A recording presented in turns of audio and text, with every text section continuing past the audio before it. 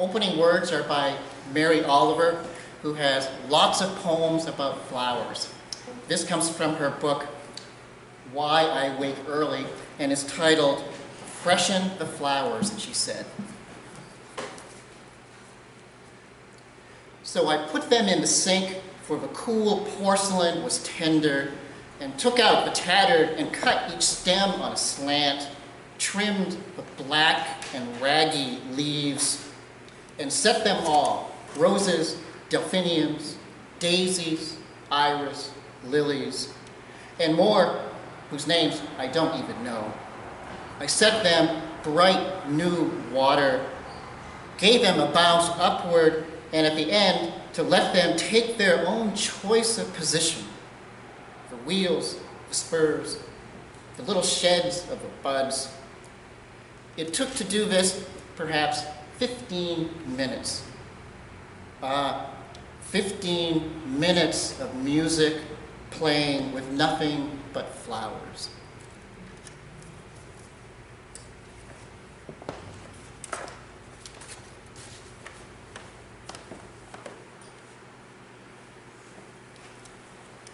So, for our moment of centering silence, uh, pan around and look at the flowers the sanctuary today. Uh, we also have artwork of Roger Morin in today's service uh, that you'll notice in the pews and in the back. Uh, and down front, we selected some of the floral prints of Roger's. Uh, and this is also one I particularly liked, an abstract mounted painting for flower communion. Uh, so let us pause on this day of flowers. Let us take a moment and enjoy the flowers that surround us today. Breathe, breathe deeply, breathe in flowers. May we share their peace, calm, and beauty.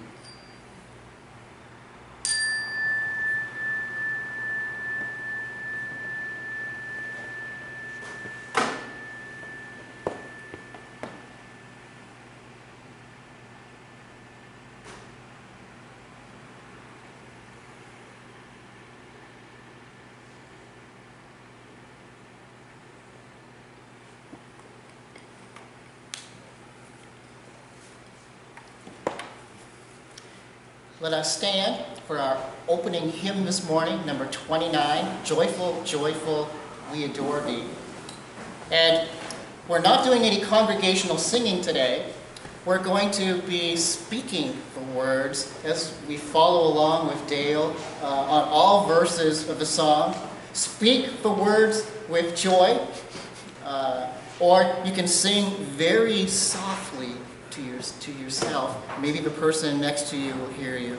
Uh, but that's how we're doing flower communion today. So let us stand and sing number 29.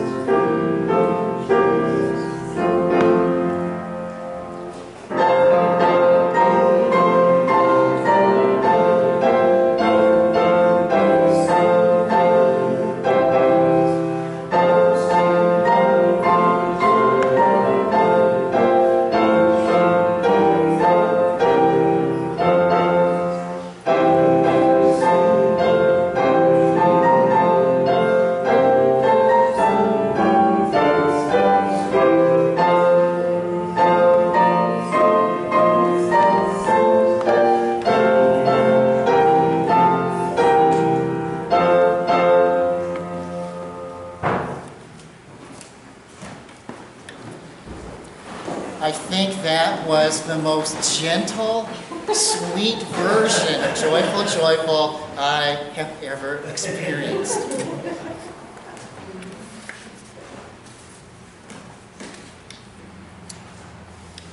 In this season, approaching the early days of summer, may we feel the natural inclination to grow and flower and reach toward the sun. Even on the rainy and unseasonably cool days, may we be assured that the warmth will return. Let us light candles this morning for both the joys and the challenges of this past year that we've been apart, part for the joys and sorrows in our life. I will light the first candle.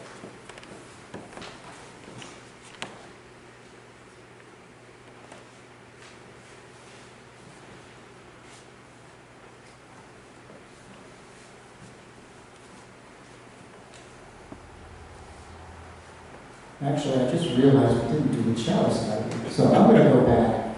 Actually, can someone, can someone help me light the chalice? Uh, I need a volunteer. Lee, Lee is close. You come down and light it. I've got the words. Let's do this right.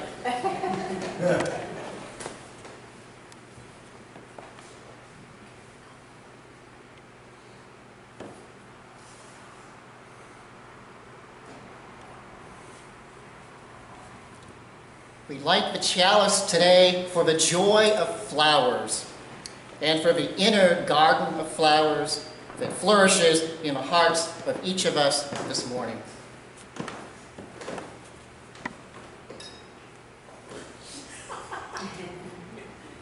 We haven't done this for so long, we've lost touch.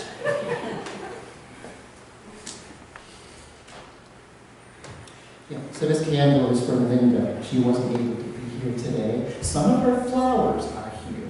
Uh, but she's also doing in person. Her studio opened up this week in Houlton, uh, Suite 7. So she, she's working on Sunday today.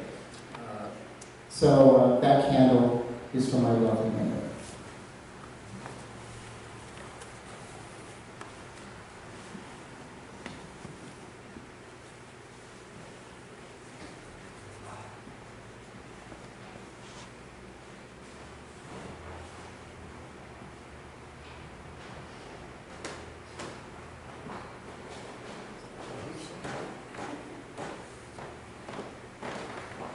Hello, everybody. Good day, everybody. I'm here with my niece Nicole Hutchinson today. And yesterday, we had to bury my mom. She died in January. And a few days before that, Nicole had to go for the burial of her other grandmother, which is Loretta Hutchinson, Roger Hutchinson's wife. So, we're, I mean Wayne, okay. It's Betty White's sister Yeah, is her grand, other her grandmother. sister-in-law. Yeah. Yes, I Bill's. lost both my grands in under a year. And within not that many. So she's lighting a candle for them, and I am too,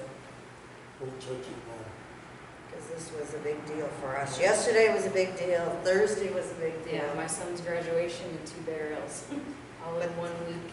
But that was a joy, so we could do one for Ben for joy. And he graduated from where Finn was a wonderful teacher there. So. Yeah, that's what we did, good. But we did it.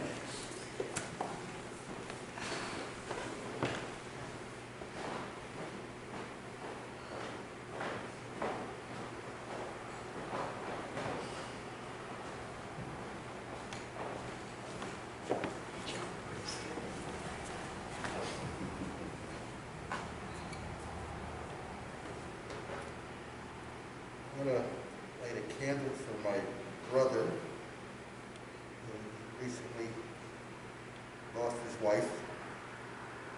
And I'm worried about him. And for my sister who is going through a lot right now. Sum it up and saying that. And it's nice to see her.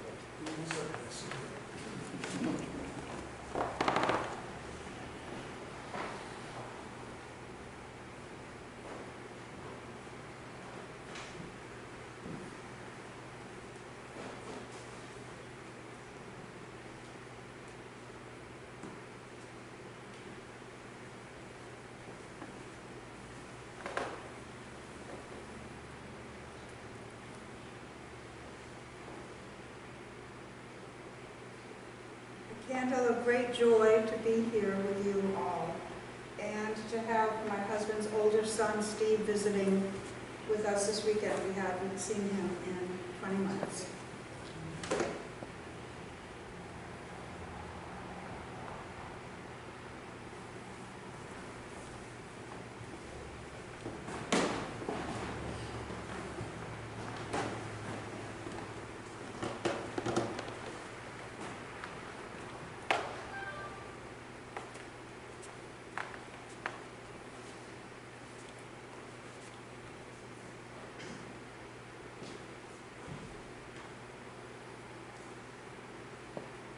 For my brother Hal, who's in ICU at Bangor after extensive cancer surgery.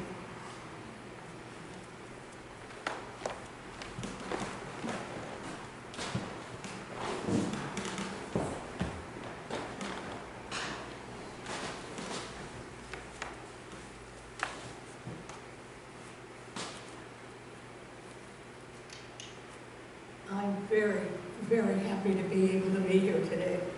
It's been almost a year since I've been able to come. And I want to thank the people who brought me here today, because I don't have a car to drive anymore. If you live anywhere close where I live, pick me up in the morning on Sundays if you can. I can't walk that far.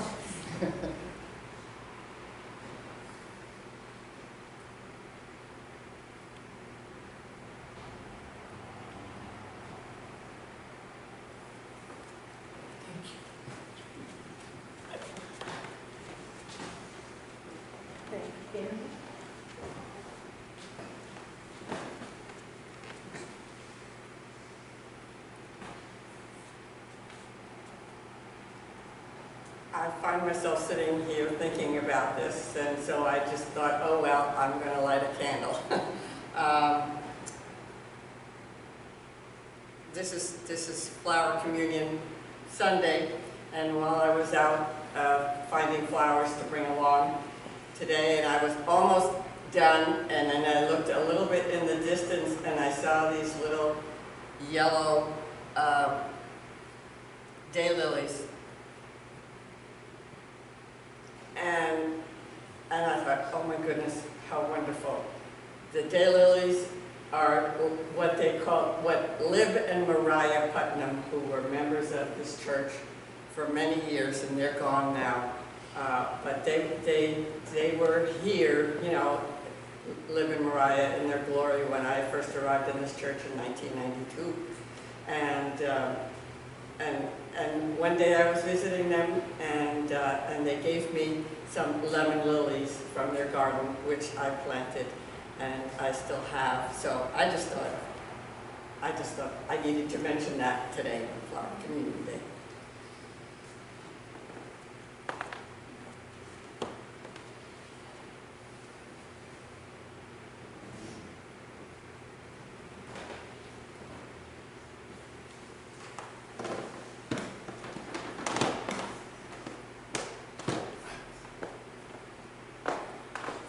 Be a multi-purpose candle. So bear with me. This is, I, I can't describe the intense joy I feel at being here with everybody. Being able to see you in person, not just on Zoom, and being able to interact one-on-one soon, I hope, as soon as we get out, outside for coffee hour. And to be back in this, in this building is just an intense feeling, and I, I can't begin to thank the people who got it all cleaned up after, with a year's worth of dust and pigeon poop to deal with. Uh, Another purpose of the candle is joy for warmth, that we have mostly got the cold at bay for a month or so. Uh, uh, Watch out for burning, for skin, for sunburn, watch out for bugs. And- I'm glad to be able to do some work out in the garden. It's, This year, I don't plan to spend any part of the summer in the hospital. So,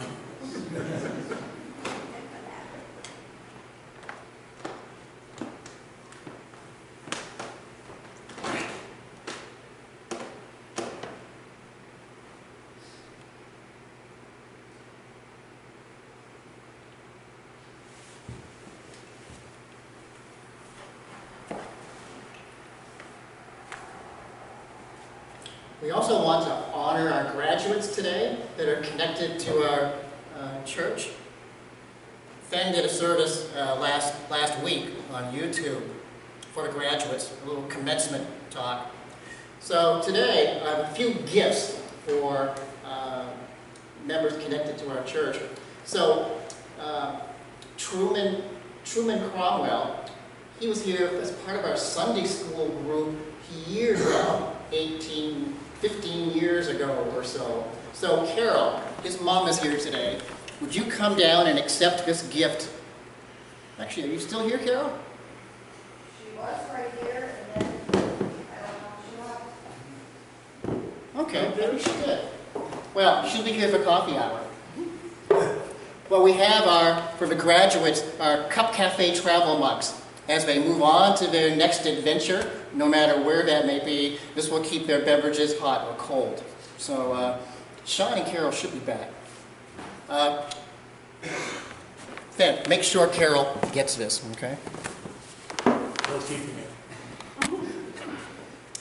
And also Logan Rogers graduates from Houlton High School this year, and his father uh, is here, Peter. If you'd like to come down and accept his travel mug for him, make sure he gets this, Peter. Uh, we have more if you'd like to, to purchase one for yourself.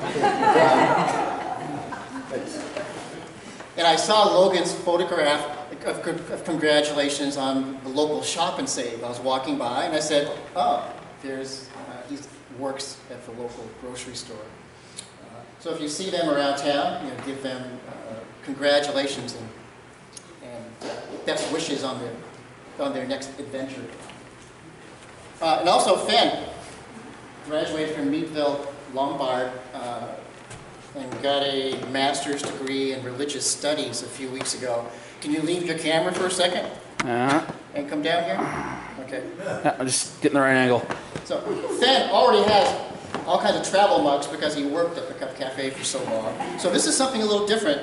Uh, the box actually says it's a pair of Apple AirPod Pros, but they're not. It's just the box. But open up inside, and I think you will find this for your travels as you head to New Orleans next Nice. month. Well, X-Wing fighter from Star Wars. mint condition. Uh, So uh, so give a round of applause for all of our seniors and graduates in the area who are leading off.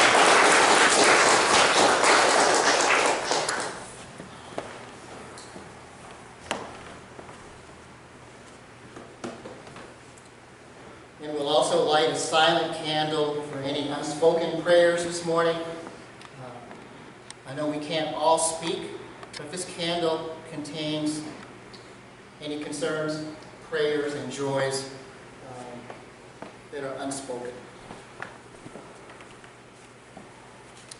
And you can say any names this morning that you, I'll say a prayer in a moment. If you'd like to add any names of graduates, family members, or just a joy for this Flower Communion Sunday, you can just say that softly out loud.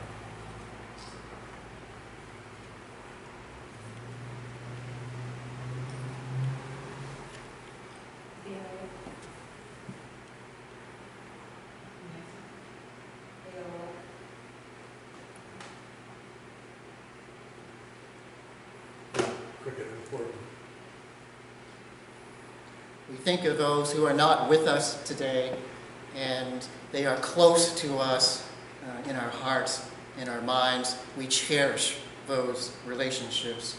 We offer prayers to them.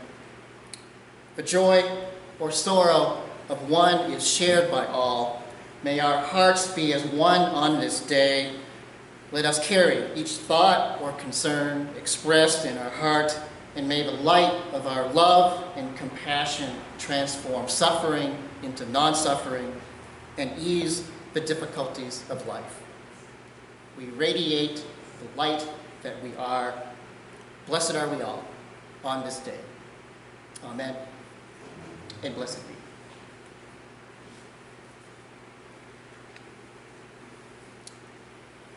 Flower communion is a, uh, one of the special traditions of a Unitarian Universalist movement. And Reverend Norbert uh, Capek uh, was the originator of this ceremony. And we have a responsive reading today written by, by him, number 723, that we will use as our group reading. It's broken up into paragraphs. I'll read the first paragraph, and you read the following one, and we'll alternate back and forth.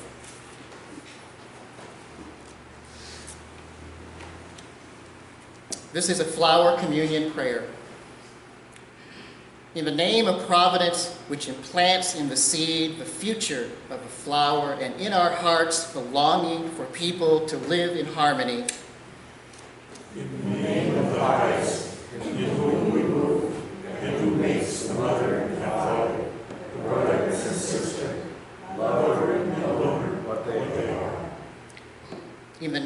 sages and great religious leaders who sacrificed their lives to hasten the coming of the age of mutual respect.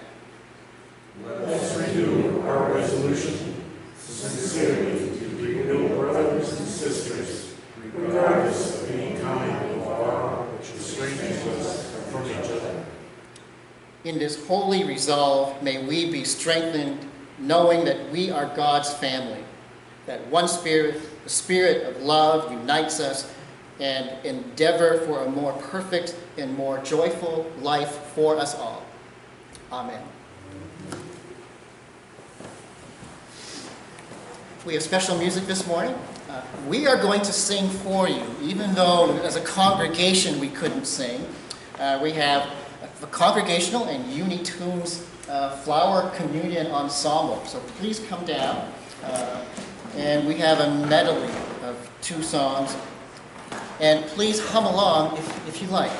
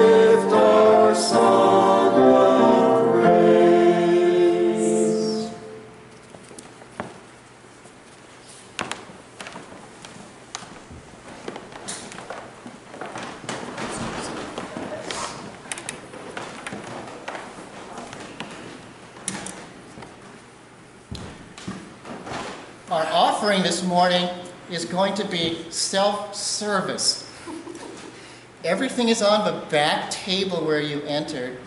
The, the offering plate is there. Our pishka is there if you'd like to give to uh, local needs in the area. Uh, and also our building fund jar is on the same table, so you can donate to any one of the three or all of the three. Uh, you'll have the entire length of Dale's offertory to make it back there, uh, make a contribution, and come back to your, to your seat. Or you can do it after the service. These also, we're trying to give you as many options as possible on this Flower Communion Sunday. Let us give with hearts of joy this morning in this day of flowers, fresh air, and sunshine. Amen.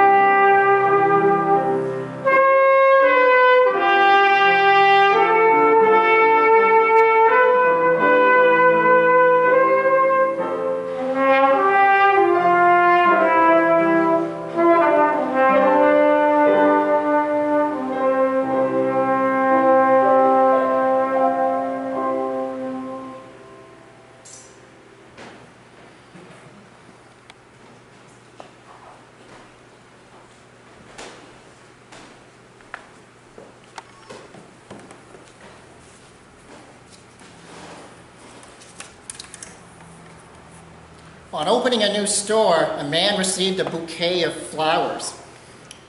He became dismayed on reading the enclosed card that it said, with our deepest sympathy. While puzzling over the message, his telephone rang, and it was the florist, apologizing for having sent the wrong card to his business. Oh, it's all right, said the storekeeper. I'm a businessman, and I understand how these things can happen. And, the florist, I accidentally sent your card to a funeral party. Well, what did it say? asked the storekeeper. Congratulations on your new location. well, the way things have gone for the past year, we've come to expect just about anything. We weren't even here last June. We had just started our Zoom coffee hour, and we were trying to figure out how to maintain and nourish spiritual community during a worldwide pandemic. This year, even more than most years, every appearance of a flower is most appreciated. The color, the fragrance. It doesn't matter if they're wild in a flower garden or from a florist. Flowers bring joy, beauty, and pleasure to our life, even if they are delivered to the wrong address or we're viewing them on a Zoom computer screen. The title of today's Flower Communion sermon is The Flowers Are Back. And I'd like to add, so are we. It's been a long time coming, more than many of us expected, and I believe the time is here, just like a flower that is budding and blooming in the early days of June, so too it is our time to emerge cautiously and hesitantly, perhaps, but it is our time to return to the open sun and open skies of our being, to be together again in a safe manner, and to find the joy and appreciation of being together again. We will still need to watch the numbers and heed the guidelines of our health organizations as the coming weeks and months unfold. But I would like to think that we can be cautiously optimistic about a circumspect return to our lives and our shared lives together in this community and the larger community. Today's service is a special and much anticipated occasion to do just that. The flowers are back, and so are we. One of the songs that Dale typically plays for our flower communion service is June is busting out all over. And I have found myself saying that phrase more times than I can count, Dale, uh, this year. It seems like everything is early, is growing like crazy, and then moving on to the next seasonal flower that's waiting in line. I heard several people commenting flowers they usually bring to the flower communion service have already gone by. This year I brought a bouquet of irises from Linda's flower garden, which have never been ready for a flower communion service before.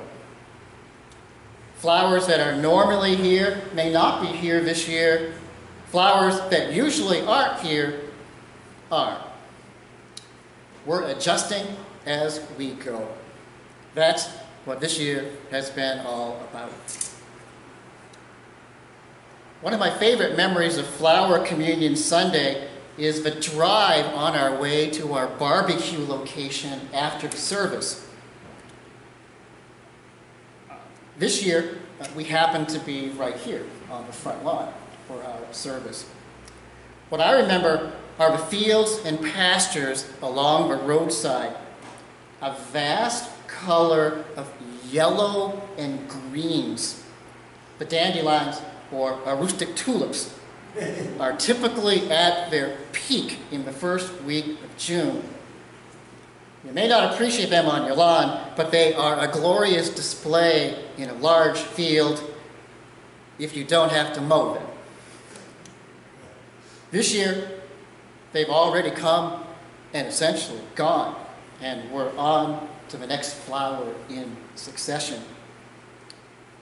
I wrote this poem several years ago in the first week of June, and you'll notice the same yellow flower we were just talking about at its peak. Uh, this poem is titled The Life of Flowers. Stepping out the back door in the early days of June, the lush field of long green grass is splashed with bursts of yellow under deep blue sky. These common flowers are the mass majority of the colorscape, outnumbering the modestly dispensed reds, blues, oranges, and whites. The human eye is one more color in the field. Eyelids wide open, we see. We contemplate. We view the full expanse of our gaze. The flower does not exist for next week. The flower does not exist for last week. It exists for the short duration of the day at hand. It is yellow, may be red, it is light pink. Open your eyes and see, open your heart and touch the life of flowers.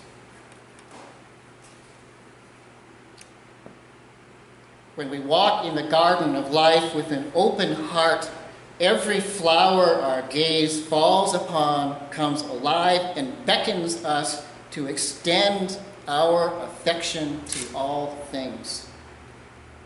There is no place for partiality when our soul embraces everything. Even the crude, the weeds, or the distasteful find a holding place in our awareness, a holding place that in time transforms even the most resistant or unsettling. In a world of both beauty and pain, we are simply alive to the wonder of it all. With each breath, we are living evidence of liberation. Walking in a garden of life, we walk in love. We walk with a deep connection to all that exists. We walk in harmony. We walk in, in with great appreciation. We walk in wonder of it all. This weekend, I heard bullfrogs at our place, and I saw fireflies a little earlier than usual. And did I mention the flowers are back as thick and colorful and lush as ever? I pray that your inner flower today is opening after a long and uncertain time of personal coverings, self distancing, and masks. Feel the ground beneath you, the soil and its nutrients. Look to the skies above you and feel the sun on your face and your body.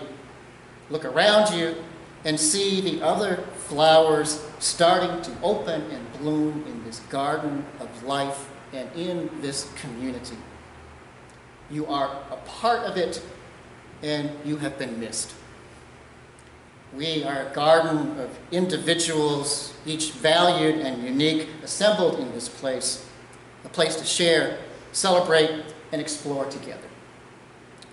On this Flower Communion Sunday, we look at this day as a time of return, of opening and are looking forward to the days ahead. The flowers are back, and so are we. Blessed are we all on this day.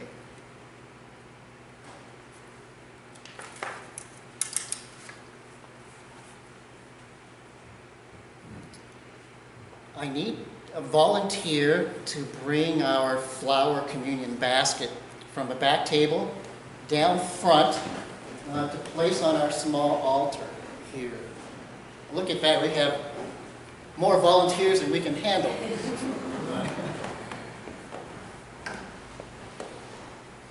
Sounds like an invasive plant. It does.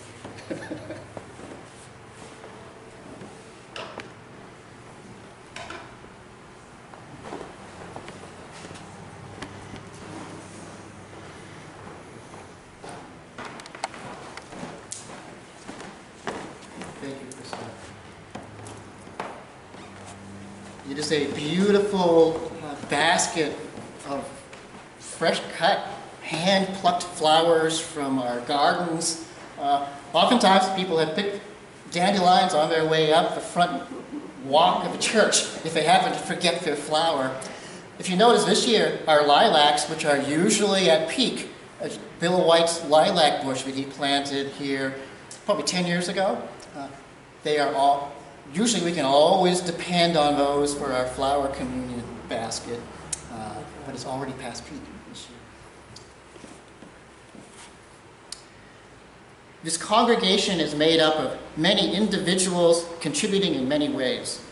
As no two flowers are alike, so no two people are alike.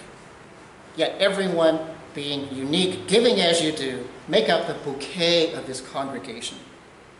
By exchanging flowers, we signify that we walk together in the search of what is true, disregarding that which divides, looking for what we share in common. Let these flowers be our sadness and joy, our troubles and our good times, our moments of despair and laughter. Let them be the wonder and mystery of this life that we share together. And I have a prayer uh, written for this ceremony by Reverend Martha Newman that we read each year. We have brought these flowers as symbols of our gathered humanity. Now let us share, each taking away a different flower than we brought as a symbol of our shared life and of our hope and trust in each other. May we be steady in the ways of peace and gentleness like a little flower. So we're going to do things a little differently this year. Uh, we are going to keep the basket down front on the altar, and as Dale plays uh, some flower communion music, uh, just make your way down uh, at your own speed and select one of the flowers from uh, the basket. The only rule is you cannot take the same flower that you brought. Okay? Uh, and once you found the flower, just head back to your seat uh, and make room for the next person coming up. And this may take a little longer doing it this way this year, uh, but again, enjoy this, the beauty of this shared space and music uh, on this flower communion day. It's a contemplative, unhurried uh, practice. Uh, and I'm going to bless these flowers with our Unitarian holy water that we've retained from the ingathering service last year. And we'll sprinkle these flowers and give them a little blessing. Peace and gentleness like a little flower. Peace and gentleness like a flower. Yeah. Let us begin.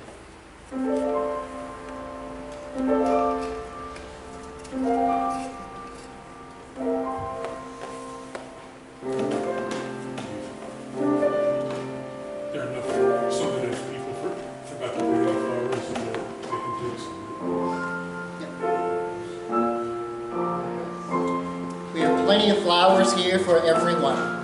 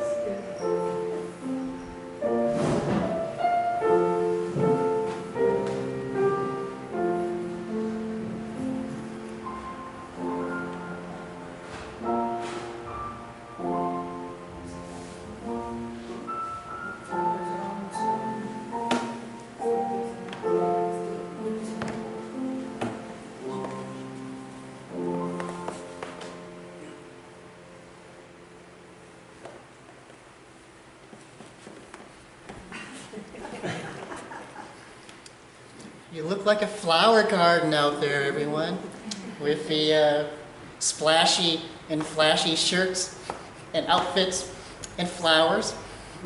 Uh, a benediction. And now may we leave this place with simple wonder in our hearts and a flower in our hand. Blessed be on this day. Amen.